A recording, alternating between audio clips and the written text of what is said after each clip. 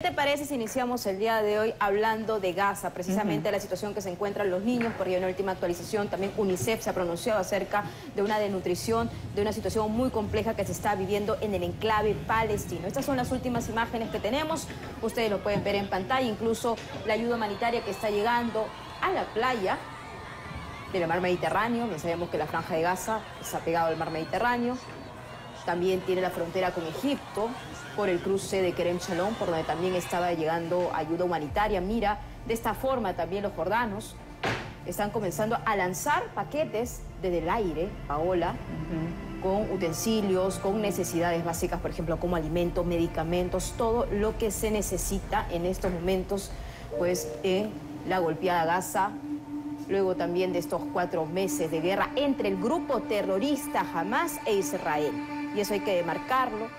Y hay que recordar también lo del pasado 7 de octubre, luego de lo que pasó, la incursión terrorista de grupo Hamas, ahí los kibbutz Nirot, Farsaba y otros más, donde fueron masacrados y también tomados como rehenes. Y aquí quiero dar una actualización mientras aprovechamos estas imágenes sobre este último intento de cese al fuego también, Paola. Hablábamos ayer de 40 días, de la posibilidad, porque es un escenario, es una posibilidad que se está dando, eso también con mediación de Qatar y Egipto, hay que tenerlo en cuenta, pero hay brechas todavía por saldar. ¿A qué me refiero?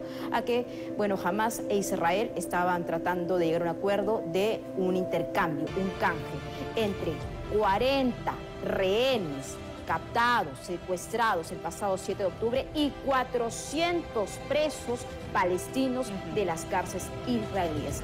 Recordemos también pues que la último, el último cese al fuego que ocurrió a fines de noviembre se logró la liberación de más de 100 rehenes y ahora lo que se sabe, porque hay información muy escasa al respecto, incluso de la salud, del estado de salud de los rehenes israelíes, pues es que si se encuentran con vida o no. Entonces hay mucha expectativa de que se pueda concretar esto y mientras tanto esto es lo que viene ocurriendo. Una situación dramática.